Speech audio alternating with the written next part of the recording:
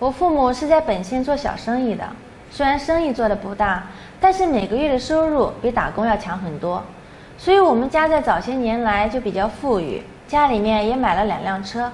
我从小就没为钱发过愁，比同龄人幸福很多。听我爸说，十年前我爸的一个堂哥因为孩子治病，家里没钱，问我爸借了十万块钱。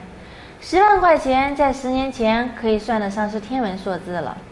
为了这个事，我爸妈也吵了很多次架，甚至闹翻了离婚。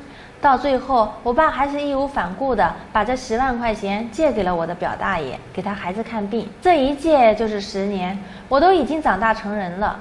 这个钱他们家也一直没还，所以说，因为钱这个事，我爸和我表大爷闹得也非常不愉快。以至于我们两家都不怎么来往。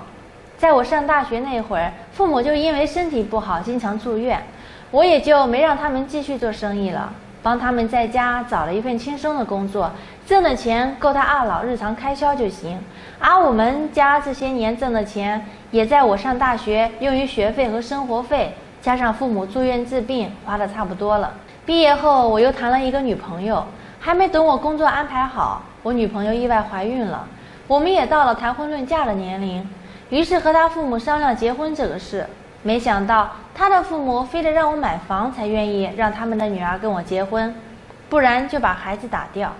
没办法，我妈说现在你那个表大爷的家庭过得也不错，也有能力还我们钱了，他们又不好开口，就让我去把那欠的十万块钱要回来。我去要了几次，我表大爷不是不见就说没钱。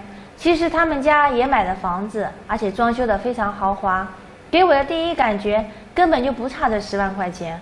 可能就是因为没写欠条，所以就一直拖着不想还。实在没办法，我们急需用钱买房，不然我女朋友就把孩子打了。迫于无奈，我父母顾不着他们两家亲戚的面子了，直接找两个黑社会的人跑到他家，逼着他父母给钱。手上还拿着刀恐吓他们，我表大爷怕把事情闹大，去凑了一天才把欠我们的钱还给我们。从那以后，我们和他家就再也没了来往。现在终于明白“借钱容易还钱难”这句话了。